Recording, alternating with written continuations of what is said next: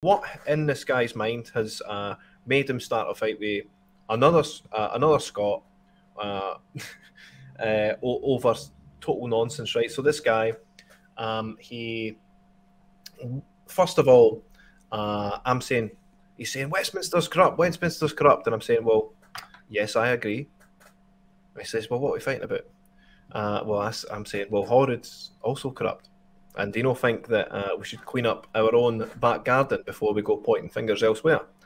And that seems to be the line that set him free. Uh, that seems to be the, the thought process that I managed to uh, persuade him round to.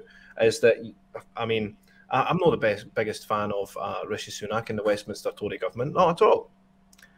But likewise, uh, we, we can't point fingers at them without pointing fingers at ourselves in Scotland as well. And that's what SNP uh, voters need to start thinking about is actually let's look at ourselves for a minute. What have we done? Um, everything seems to be getting worse up here. And it can't all be due to Westminster. I mean, a lot of them will still claim that, but a lot of it can't, uh, can't literally not be. So um, I think pointing that out to um, independent supporters that you're not the, the biggest fan of Westminster almost gets you a wee in. I mean, it starts the conversation. It's it's important to sort of uh, throw cold water on this dialogue. That's what I was trying to do up there, Alistair, is that there was a, a lot of people on fever pitch, a lot of people, um, uh, blood's running high, that we just need to throw cold water on it for a second, uh, just slow down uh, and have a conversation because we're not too far away we aren't.